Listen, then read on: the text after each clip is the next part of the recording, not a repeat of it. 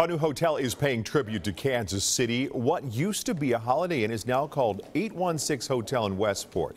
Rooms have been remade to tell Kansas City's story. Theme rooms like TWA, the Kansas City Zoo, or the KC Mob, and everything in between. With this part of the country, it's not in our DNA to brag too much.